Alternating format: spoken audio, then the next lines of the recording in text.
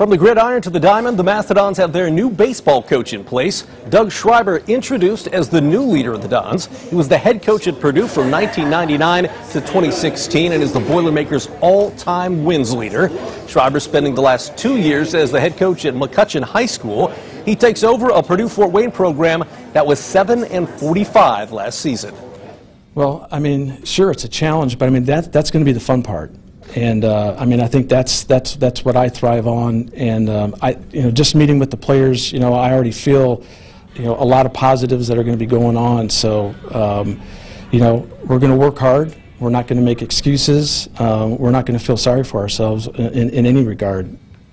Schreiber replaces Bobby Pierce, who coached the Dons for 11 seasons. He left to be an athletic director at a high school out in Arizona.